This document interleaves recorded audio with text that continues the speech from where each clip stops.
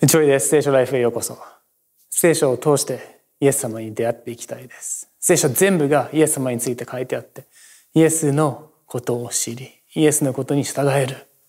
ね、そう信じてます。だから聖書の一章一章を見ていって、ね、その全体像を理解することによって、もっと細かいところが何書いてあるのか、またどうやってそれがイエス様につながるかというところを見ていってます。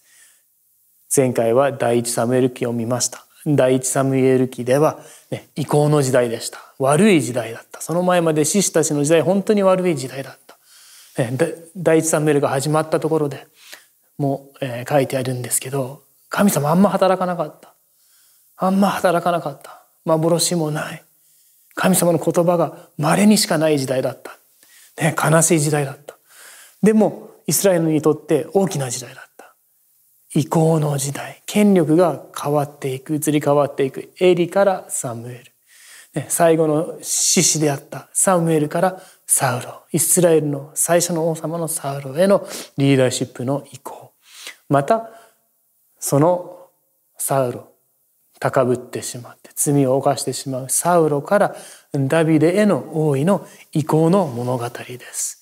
前回話す時間があんまりなかったんですけど根本的な問題っていうのは王様が悪いわけではなくて根本的な問題はあなたと私の心の問題。私たちは神様に根本的に従いたくない。根本的に自分に従いたい。イスラエルの人々は周りの人々のようになりたかったって第一ナムで何回も出てきます。それは私たち人間の心の問題の現れだった。心の問題が、ね、常に神様に反抗して反乱したい。そんな私たちです。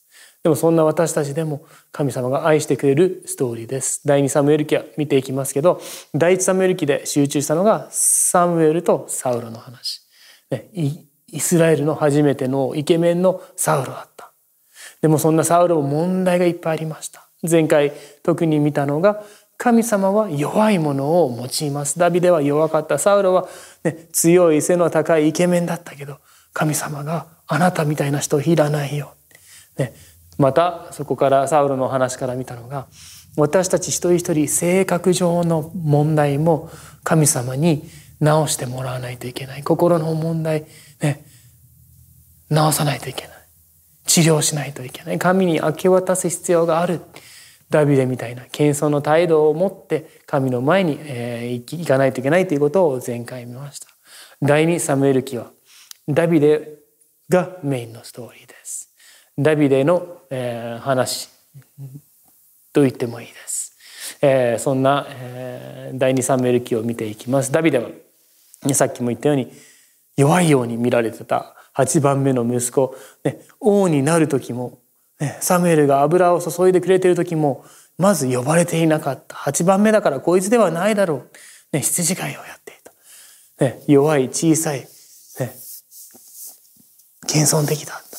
でもダビデは神様が選んだ王だった。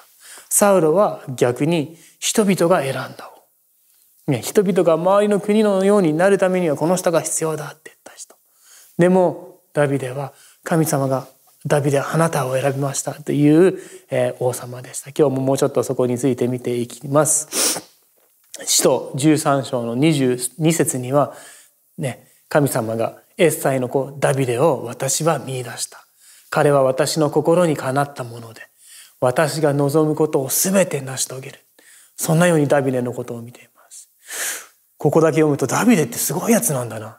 神様が見出して神様の心にかなったことを全部やった。ね、神様が望むことを全て成し遂げて、そんなダビデだったのか。ね、第二サムエル記どう書いてあるのか見ていきたいです。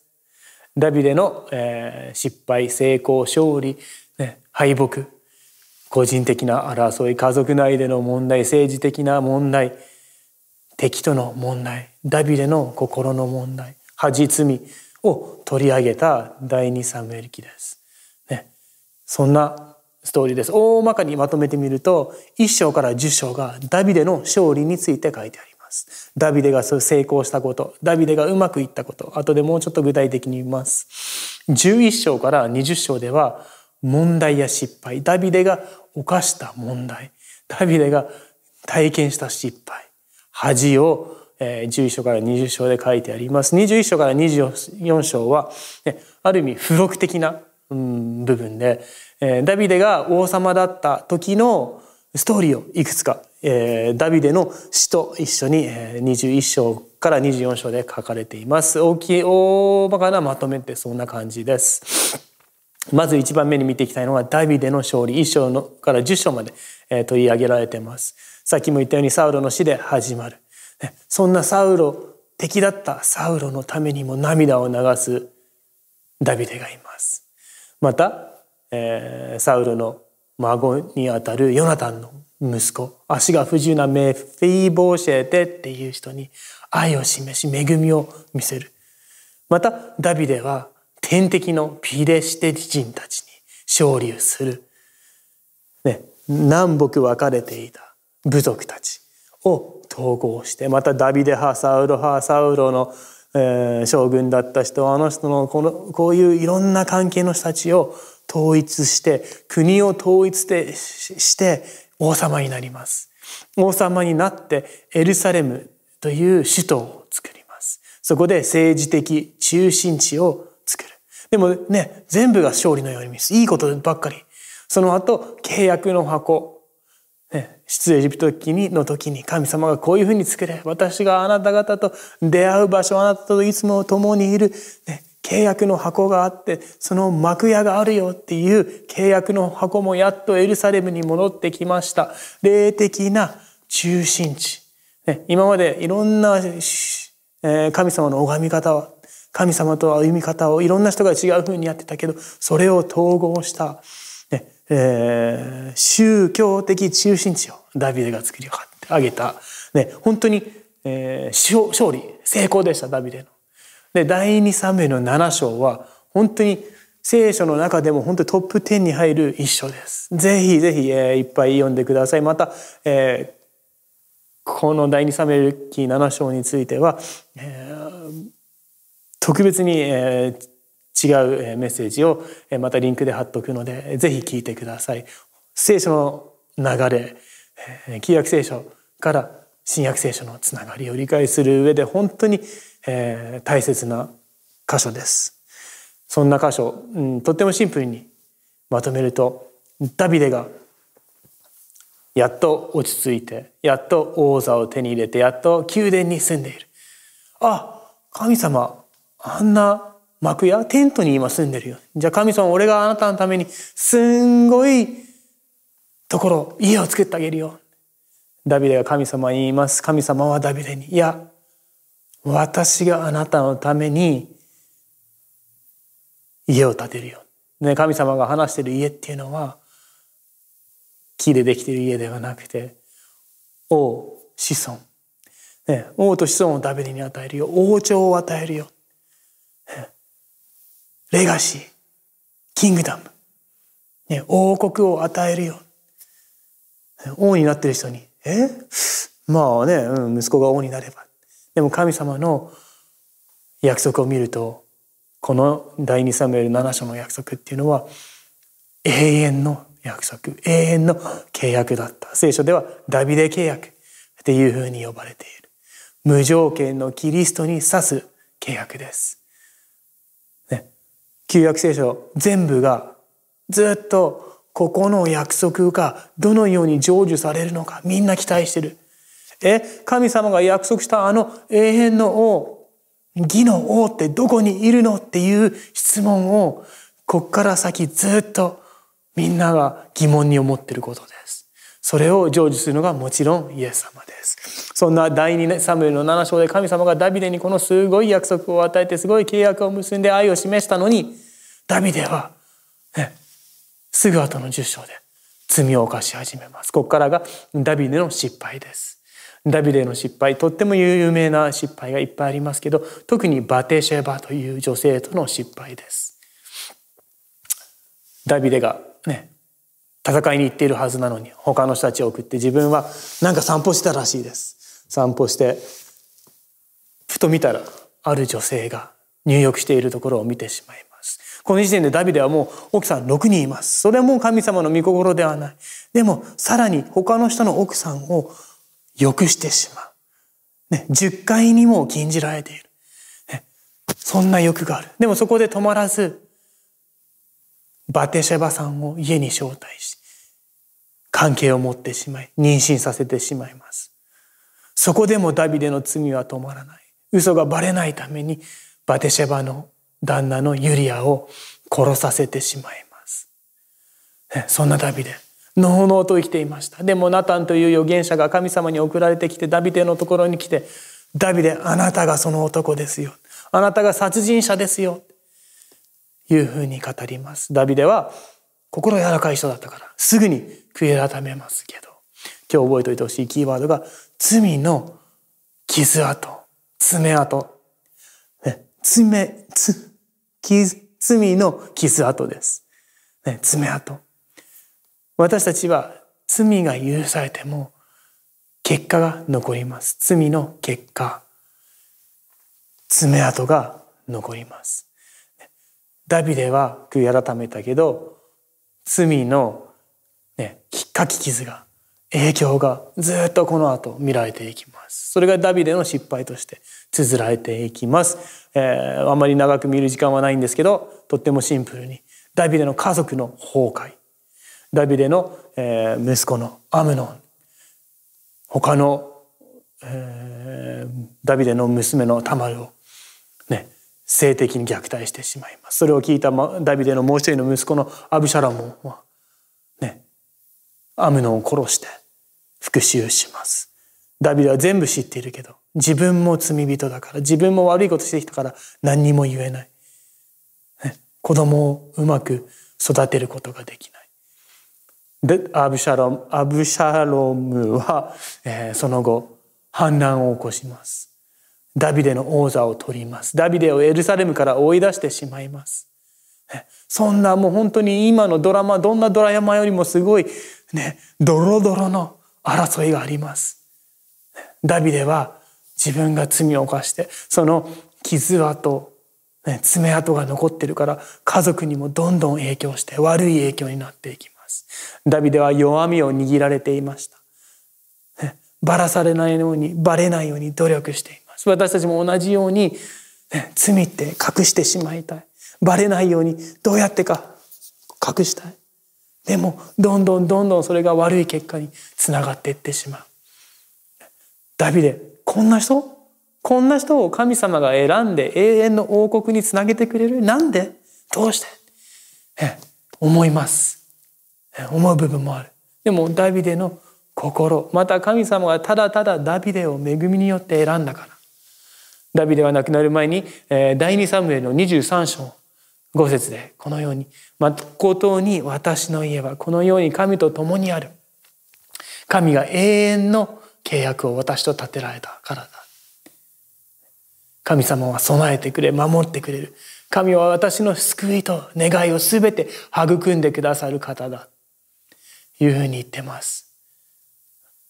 ダビデは自分が犯した過ちを知って理解し悔い改めてその罪の残す爪痕とも一緒に生きまだまだ神様に信頼した。